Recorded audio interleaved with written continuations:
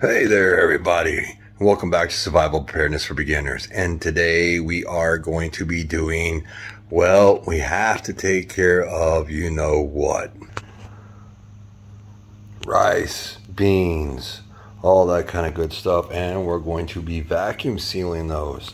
And we're going to be breaking these down into all different sizes from a couple of cups up to maybe eh, 10 cups we'll see.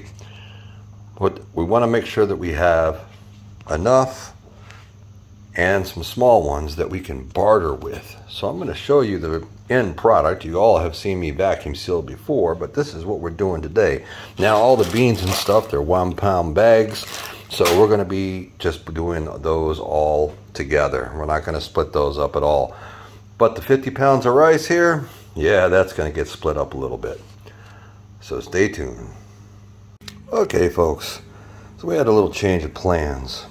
Since I have so much rice, I took a five gallon bucket and put probably roughly 35, 40 pounds in a five gallon bucket. But I did break up some smaller ones. I got four cups, three cups. Uh, this is a two cup. Then I got my beans and stuff. Now, a lot of people say that do not vacuum pack inside the bags. Well, what I did was is I opened the bean bags before I put them in here. This way here, you always have all your directions and everything. And it sucked it right down. The thing is, well, hard as a rock. So I took all the air out. So I have a couple things of beans in here. Red beans, Great Northern beans. The black beans I split up, okay? Just because it was two pounds and I didn't want two pounds of black beans. And then in this tote over here is going to be for a video coming soon to you. And I'm going to tell you what this is going to be because I'm going to fill it up with a lot of other different products that maybe we can use in an emergency situation.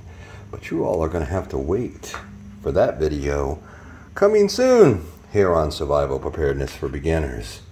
So thank you for joining me today for this quick video on vacuum sealing up some beans and rice and being prepared.